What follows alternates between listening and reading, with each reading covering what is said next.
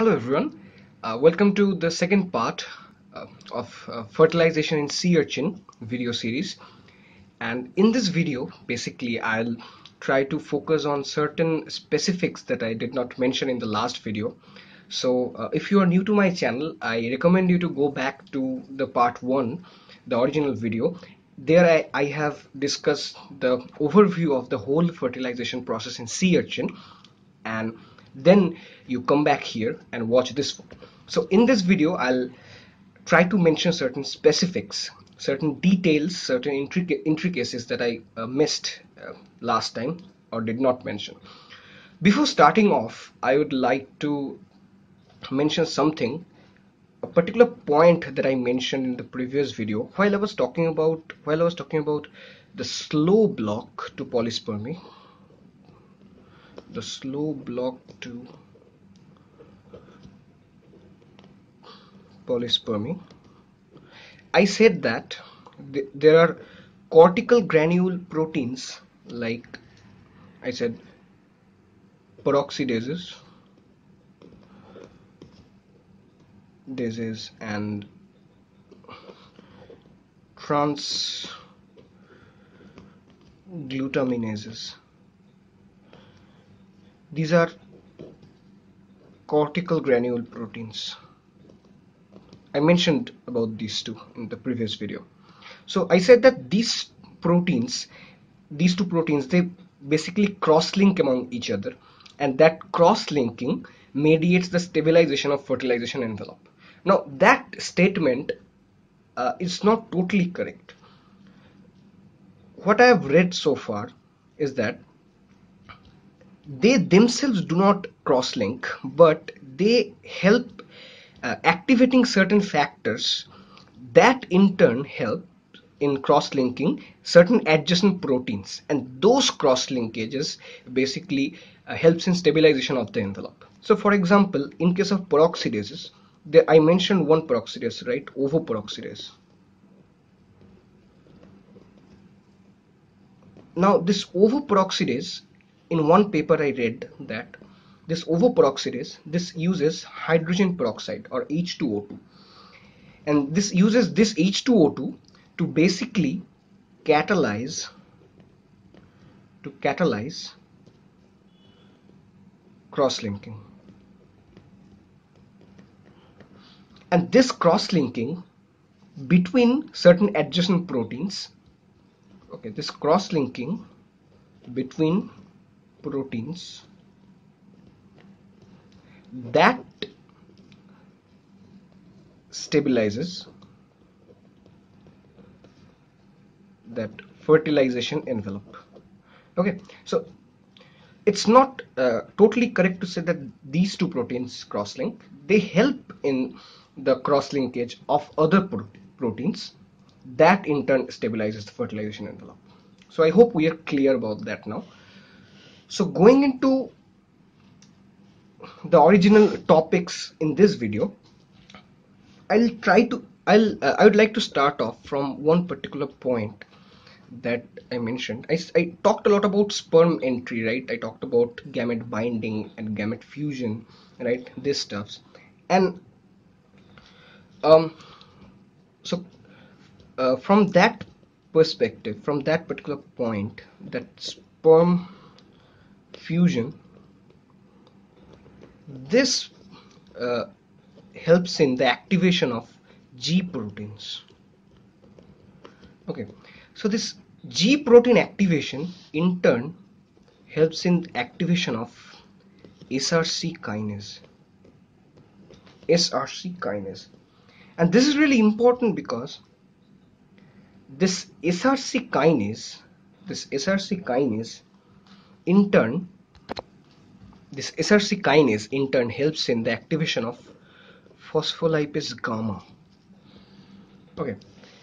So this phospholipase gamma this I mentioned it cleaves PIP2 right?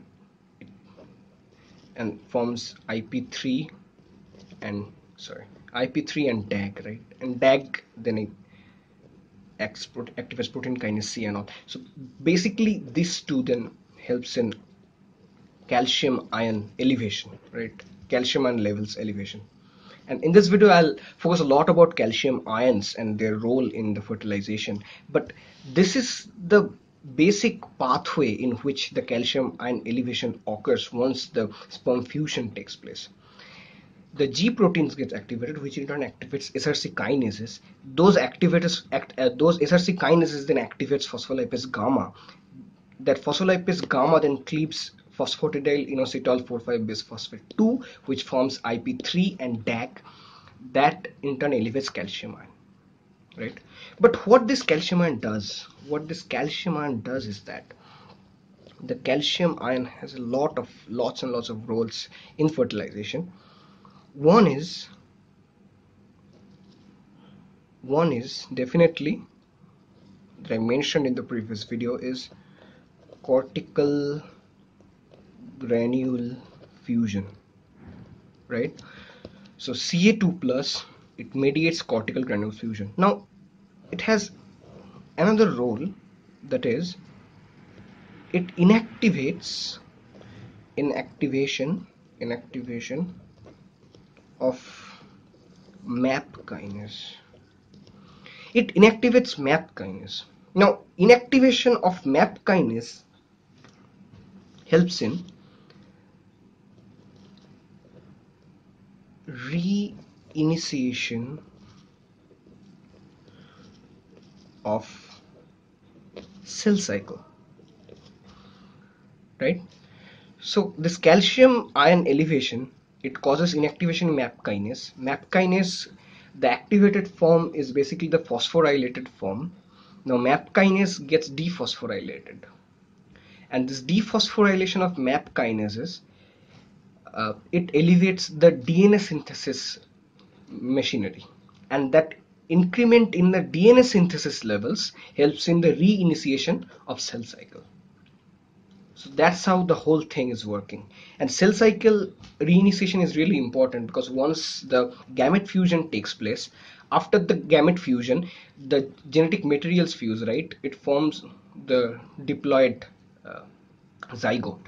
So cell cycle needs to reinitiate because the zygote will then further divide and it it will eventually give rise to adult through this course of different cell division procedures. Okay. so next I will further talk about this calcium ion because it's really really important but one other protein that I'll mention here is NAADP okay. This is not NADP this is NAADP okay. This is basically the Na is nicotinic acid. Okay. And nicotinic acid adenine dinucleotide phosphate. NAADP okay. This NADP it is derived from NADP okay. Nobody else. It's derived from NADP okay and and this NAADP it is a calcium ion releaser okay so what happens is in the egg jelly as I mentioned there are a lot of glycoproteins. I mentioned this in the previous video. In the egg jelly, there are a lot of glycoproteins. So once, once the sperm recognizes these glycoproteins with the help of the cell membrane receptors, sperm cell membrane receptors, recognition by sperm, this causes elevation in the level of NAADP and sperm basically releases this one. So this NAADP it is a sperm born it is a sperm born Ca2 plus releaser. And it helps in the release of calcium ions in the egg in the ovum okay. So now to further talk about the role of calcium ions in fertilization I'd like to talk about it in two different uh, steps okay two different response steps I should say. Now, the first one is known as early response. Now, this early response lasts about a minute. Okay, it's it, it lasts about a minute, yeah. And in, in in this early response stage, the important things that should be talked about is at this stage the elevation of calcium ion levels results in the activation of NAD plus kinase. Now this NAD plus kinase it helps in the conversion of NAD plus to NADP plus which obviously eventually gets reduced to NADPH. Now this is really important this particular step in here and why I'm saying is that there are lot of lipid biosynthesis enzymes which uses this NADP as cofactor. Okay so this.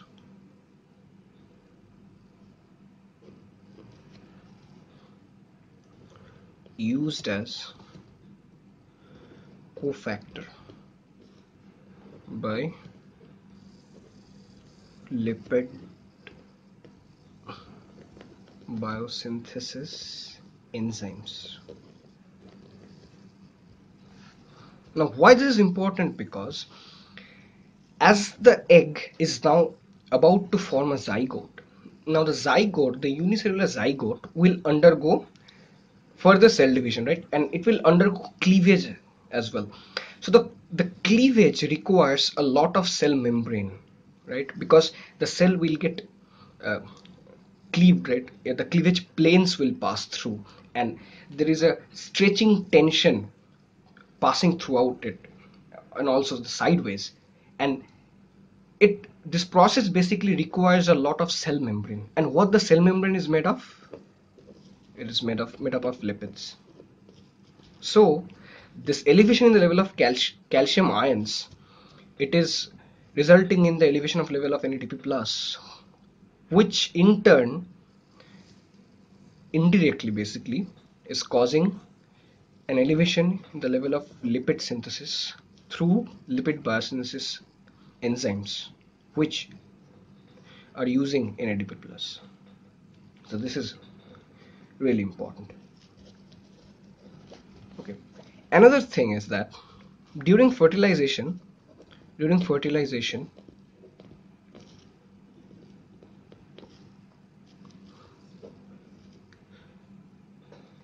a respiratory burst so to speak uh, uh, takes place and what I mean by that is that is um, I talked about those peroxidase enzymes, right, that the cortical granule release during the slow block to polyspermy.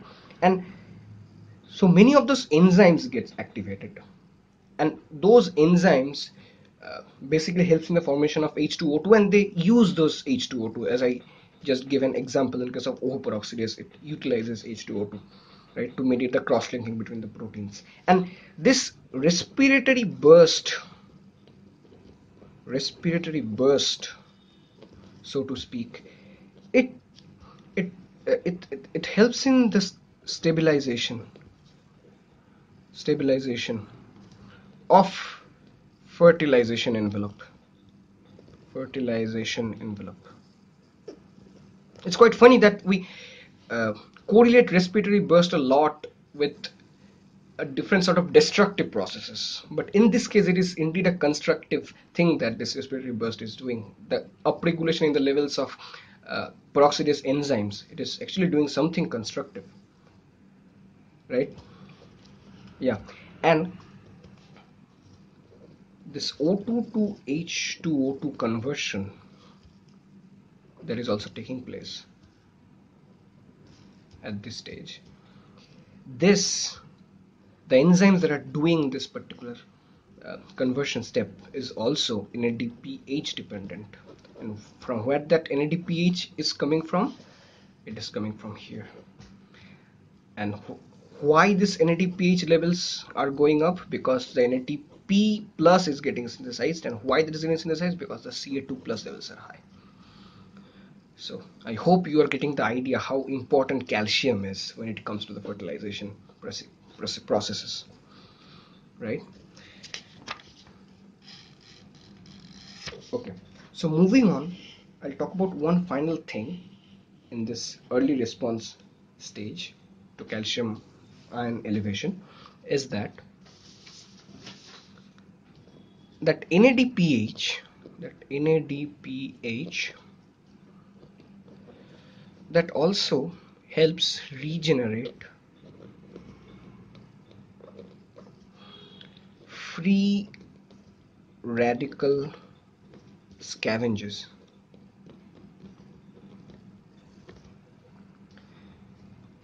Why this is really important is that as we know free radicals are often destructive. They causes a hell lot of damage to uh, proteins lipids nucleic acids they, they do not really like to spare anyone. And this NADPH helps in regenerating a lot of free radical scavengers as well like like uh, glutathione like ovothiols etc so these free radical scavengers they prevent DNA damage in egg. Because let's face it you do not want a DNA damage in egg right? Because that egg will grow up to be an adult. And if there is a DNA damage there is a high chance that okay it, it will all go haywire if there is a damage in the zygote. All right okay. So that sort of uh, sums up the early responses now I'll talk about late response. And the late response the late responses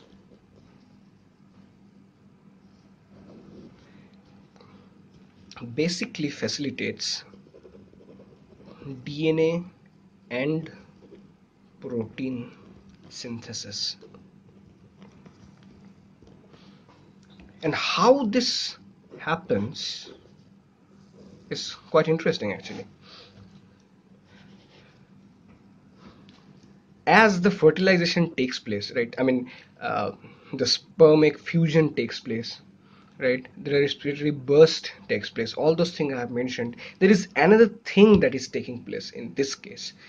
I told you that the seawater has high pH and inside the cell the pH is low right?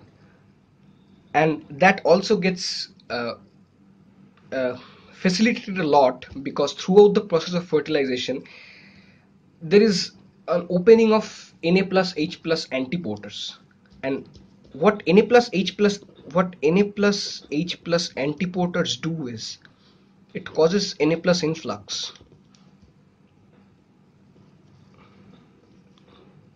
sorry Na plus influx which is quite good for the cell right? And but it also causes H plus to go out and this is also good for the cell because this H plus as it is leaving it is causing the pH to rise. So the sperm egg fusion this is basically causing the pH to rise is what I'm trying to say here. And this rise in pH is leading to sorry this DNA and protein synthesis. This rise in pH is resulting in the elevation in the synthesis of DNA and protein so the early response is a lot focused on calcium ions.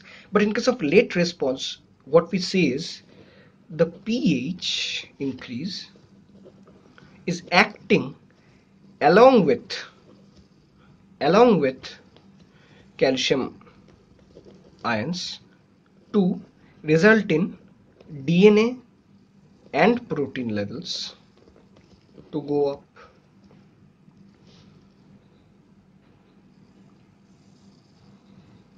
okay.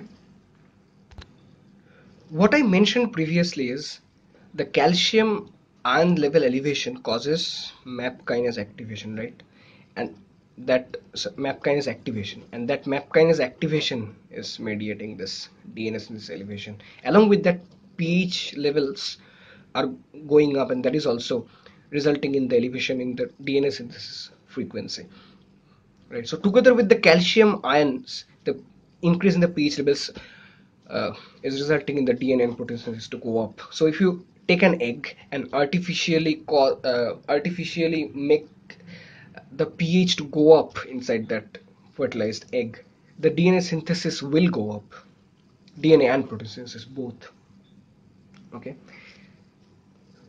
And now there are there are uh, there have been few experiments in in in order to or, or um, in order to uh, find out how this protein levels are going up how protein synthesis is kicking off as the pH levels are going up. So what has been found is okay uh, one particular thing I should mention here is the protein synthesis as we know takes place with the help of translation right? mRNA translation. mRNA translation. And this M in, in, in this case what uh, we see is it's not that the there are lots and lots of new mRNAs that are being produced but the old mRNAs that were there they could not translate to proteins. But with increase in pH levels those mRNA translations are kicking off.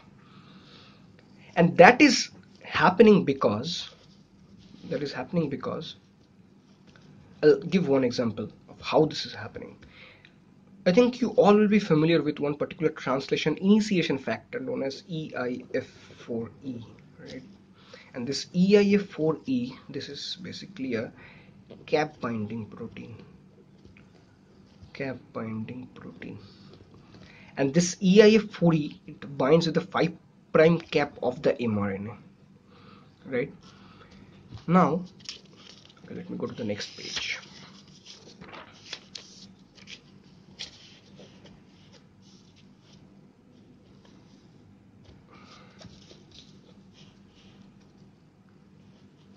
yeah so that EIF4E is a cap binding protein. Now there is one particular inhibitor. The inhibitor is attached to this EIF4E. So the mRNA translation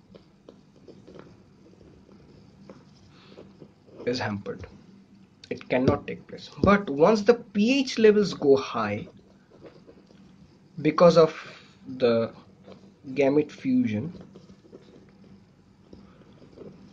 this inhibitor it cannot remain bound to this EIF4E so the inhibitor is released. And translation can kick off. Right? Hope you got the idea. Now one of these mRNAs the code for a particular protein which is really important is known as cyclin B does it ring a bell? What it does it it associates with CDK1 and they form a protein known as MPF or mitosis promoting factor. And this promotes cell division. Alright so that's how in the late response with the help of an increase in the pH levels the protein levels go up and also the cell division kicks in kicks off. Okay? Now one final final part I'll mention that is gamete fusion this this is the final step in the fertilization procedure.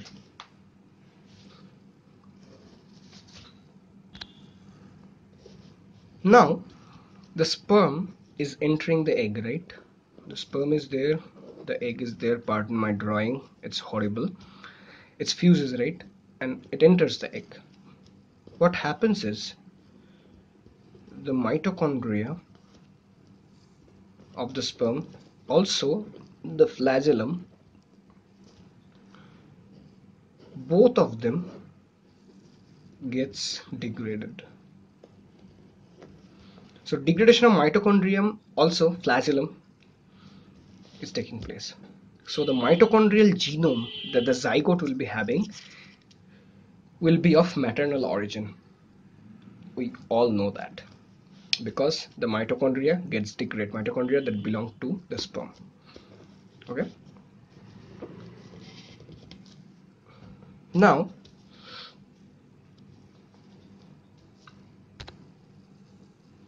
Now, the sperm chromosome, the sperm chromosome is highly, uh, sorry, highly condensed. It's highly condensed.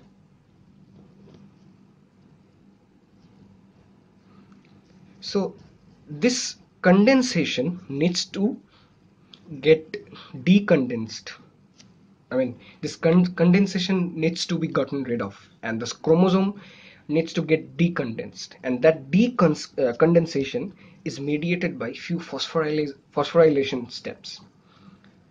How that takes place is okay the chromatin we are all familiar with the basic idea of chromatin biology right the chromatin is basically DNA plus histone right so sperm has its own histone proteins and they are tightly bound with the DNA and the whole thing is tightly packed in the sperm nucleus and that is covered by the nuclear envelope. So as the fusion takes place and all other steps of fertilizations are completed and only the gamete fusion is uh, remaining what happens is the to initiate the gamete fusion that nuclear envelope that nuclear envelope starts to disintegrate. That is important right? And that chromatin sorry and that chromatin that we are talking about gets exposed.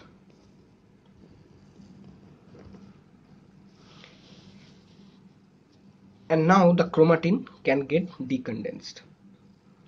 And this decondensation as I said is mediated by phosphorylation. How that takes place is I I said right the egg jelly contains glycoproteins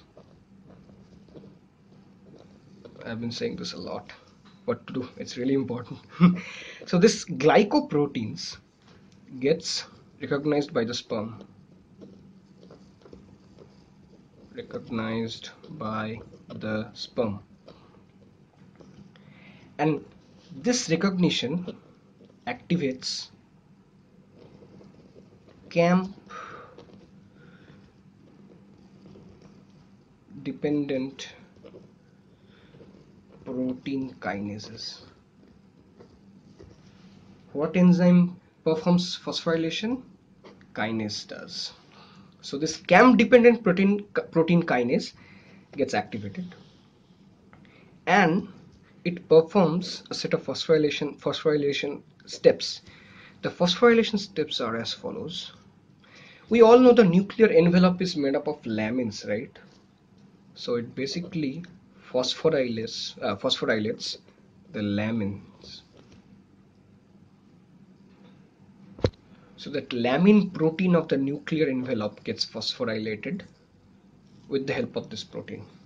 And it also phosphorylates, it's also phosphorylates histones, the sperm histones, okay the sperm histones, sperm specific histones that are resulting in the tight uh, package of that chromatin inside in the sperm chromosome.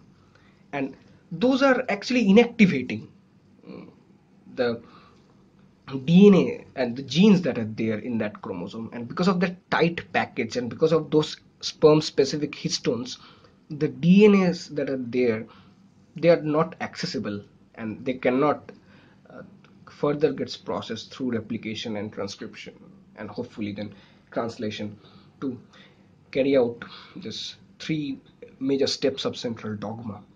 So once this histones gets phosphorylated their basic residues in these histones they cannot access the DNA with the same sort of attraction that they used to have before this phosphorylation step. So this is basically an inactive phosphorylation that is taking place in the histone protein.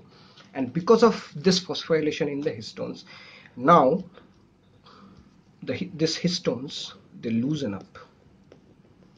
They loosen up. And and the egg histones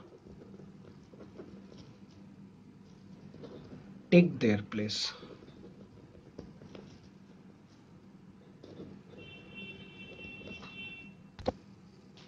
And this this Uh, results in the activation of chromatin sperm chromatin. And the DNA now can replicate. Alright now the final step as the sperm enters the egg right? Along with the nucleus let's say this is the nucleus the centriole also enters right? The nucleus the centriole. And let's say egg nucleus is here. This is egg this is sperm. And once it enters it sort of makes an 180 degree rotation. And because of this rotation the centriole sort of comes in the middle of the two nuclei. So the sperm and the egg pronuclei are there and in the middle there is the sperm centriole. And this centriole then forms the microtubule organizing center. All right? And it sort of interacts with the egg microtubules as well. And that results in the formation of aster. Okay? So the sperm enters does 180 degree 180 degree rotation and the centriole is now in between the two pronuclei it forms microtubule organizing center or MOC and this then interacts with the microtubules of the egg and that results in the formation of aster. And this aster is really characteristic because the scientist that first observed this I think his name was Oscar Hertwig and he called it the sun in the egg not only because it looked like a sun like microtubules radiating from the pronuclei like this he also named it like this because he thought this particular uh, uh, appearance is telling the success story of a successful fertilization that has taken place. And this uh, basically then uh, spreads everywhere ev everywhere. And the, both the pronuclei they sort of are brought back closer together. So this sperm and the ovum or the egg nucleus there and they are brought closer together. And this haploid gamete pronucleus results in the formation of the diploid zygote which was the original intention. And because of that the gametes went through all this complicated steps this complicated machinery. And throughout the course of the steps they had all sorts of signaling pathway activation ph level changes calcium played a really really important role. And then obviously there are uh, many many other proteins that are involved and it is kind of impossible to mention each and every protein and each and every specific or distinct steps because obviously there will be lots and lots of intricacies that are still yet to uh, come out. So i hope you liked this video and if in any way this helped you learn please hit the like button uh, write what you think in the comment section and obviously don't forget to sub subscribe uh, share it with your friends. And uh, see you soon. See you in the next video. Have a very very nice day. And bye bye